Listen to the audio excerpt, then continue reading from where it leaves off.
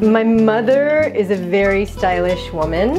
Very stylish, always loved clothing. Um, I was her doll, so she would dress me up. I, I, played piano as a child, so we, I had a lot of piano recitals, and she always had the uh, pretty party dress. So it was in my life um, from a very young age is uh, the knowing that what you wear can really make a difference. Right. And you know, it can make you feel special, it can make an event more special, it can have a visual impact. Uh, dressing for an event is very different than dressing for day to day. And I've gone more towards event dressing and very theatrical dressing. I went to private Catholic school, so I wore a uniform a lot of the time. So a lot of the clothing that was special for me was more for events and parties. Right. Going out was an occasion for us. It was always something that we all dressed up for. Both of my parents love parties and we would go to a lot of parties and they would throw these huge parties at, at, when I was growing up with over 100 people. Like my first year, yeah, my uh, first year birthday, um, they would fill the the whole block with cars. People coming from to come to the party. So the parties were famous. People. Oh yeah, oh yeah. People knew about the parties that my family threw. And they would have the pig roast, they would have a big hole in the back, and then... the year, like what, what occasions would be happening? Would it, it be It was usually birthdays. Yeah, usually birthdays for us, or uh, New Year's Eve parties summer parties. So people got ready for these parties. People they did. Really, the block got ready for them. Friends and family. Everybody. Yeah. Well, the block. You know, if somebody, if a neighbor came by complaining, my dad would talk to them, offer them a beer, and everything would be fine. Oh. They would become part. They would become part of the party. Who were they doing the cooking? Like where? Where was? My dad. Like my actually both my mom and my dad are are good cooks.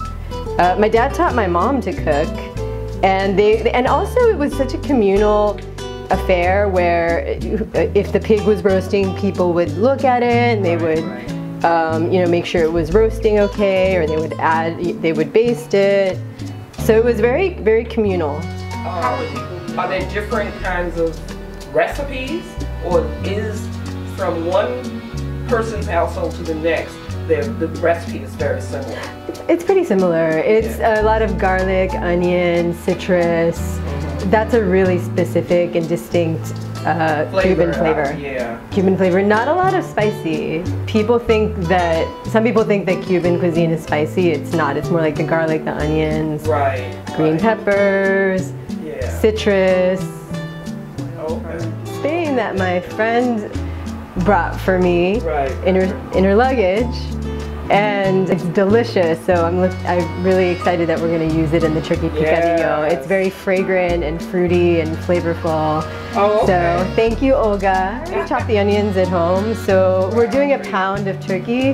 This is a recipe that normally is made with beef, but I'm making it with turkey to just make it a little lighter. We're going to do a little bit of garlic, a few cloves of garlic minced, and uh, some bay leaves. So that'll be our first our first step. Uh, the empanadas are really easy to make. You can put any like you can put so many things in there. You can make them savory, you can make them sweet, and they're a great snack.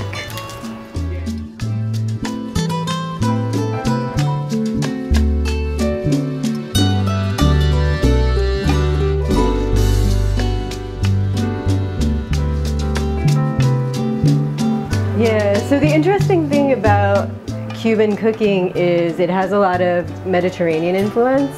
Right. The uh, uh, Cuba was a Spanish colony for hundreds of years. Right, right. They took they Columbus um, sailed up and he they took over at the end of the 1400s. Right. right. And they had it up up until the um, the end of the 1800s. But Cuba was such a big uh, trade nation. Yes, absolutely. And they had a lot of sugar, tobacco, so it has a very rich history. And then um, you have a lot of the Afro-Cuban with the Santeria. So we're gonna uh, put some garlic in here. And it's just minced, it's minced garlic. Mm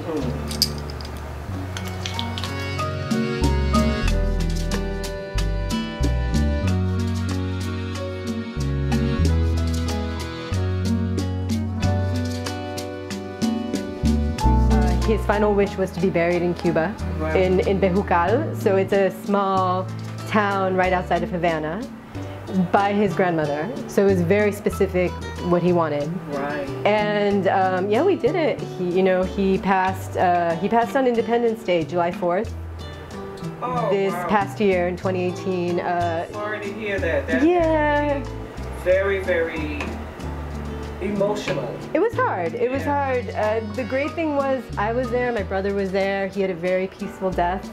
He wasn't. You know, he, lo- he was a man who loved life, and he really wasn't ready to go. Like he wanted to stick around a little longer, but he was sick. And he fought. Like he for for years he fought. He convinced his caretaker to take him to Cuba. He had a whole trip in 2017. He got on the plane in a wheelchair. So he like the man loved life and to the end um, really lived it to the fullest. Turkey time. Yeah, this is a pound of turkey, ground turkey.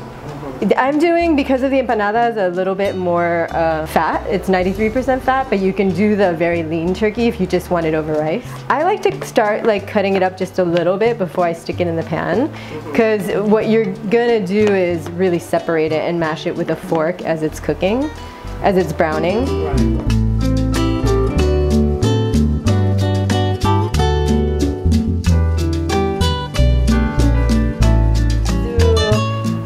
As it's browning, I'm using the fork to break it up even more.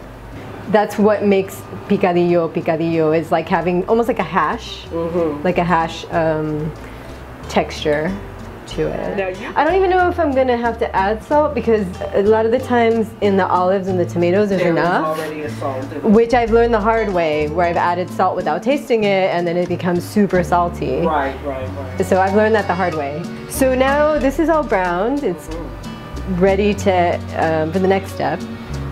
We're gonna do diced tomatoes, which I probably don't need all of these. I'm gonna put them in there, and, and because we're making empanadas, it- it- this is another thing too. If we were doing this over rice, I'd probably add more. You'd have the juice in it. Because, Yeah, and I'm putting a little bit of juice in there because it, it does need some juice. Mhm. So I'm gonna start with this and then go from there.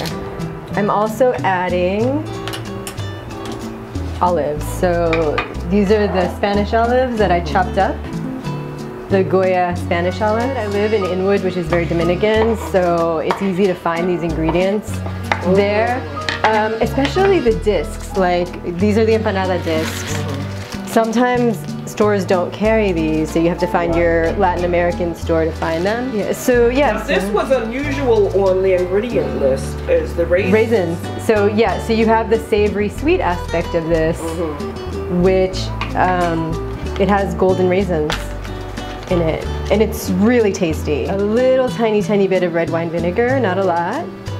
Do by eye. Yeah, that's enough. Cumin, very important.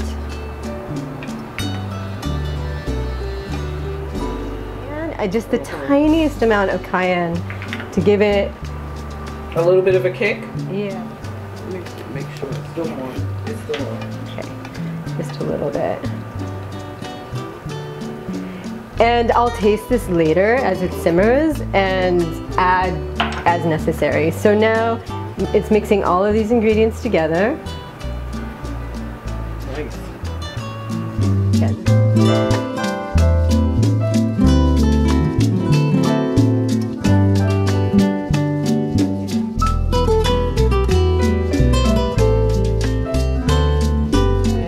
One of the things that really stood out for me when I went to my mom's town is um, there's a lot of guys and they're writing, they're they're actually driving the bike, and then there's women sitting behind them on the bike, side saddle. Yeah.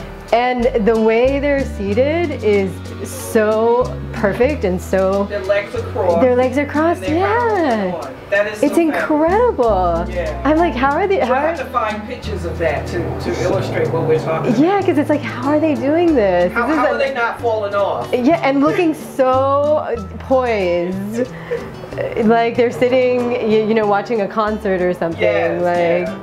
That is in- yeah, yeah, and they're just you know they're they're super balanced and Yeah, I, I. I, effortless, effortless, Yeah. effortless, amazing. Oh yeah, that was um, one of my styling projects. It looked like Ziggy Stardust. Yeah, yeah, yeah. It was actually we called it Rocky Stardust with a photographer that I work with a lot, um, Eric Garcia Marsh. And this was when I was living in Barcelona and doing a lot of styling work, and we put this together.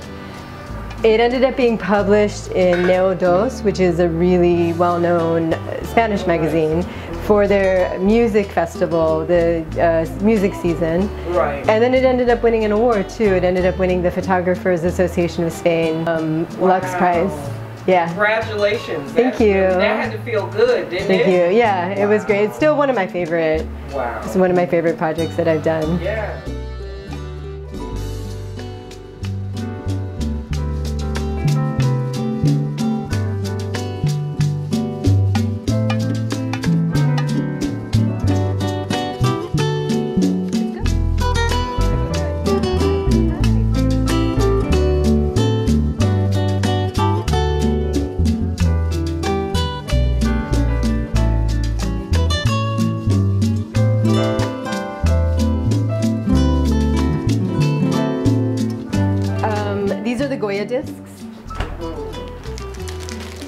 Yeah, so these are the How many come in a Goya. package? 10 plain water. And I'm gonna make um, egg wash. So it's one egg.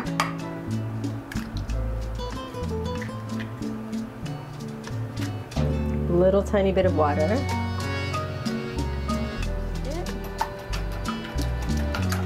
And this is in this plastic. There's a plastic in between. And then take your beef.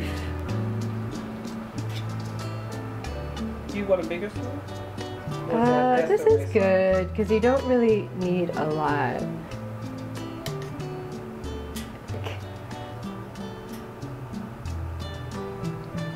Bring it over.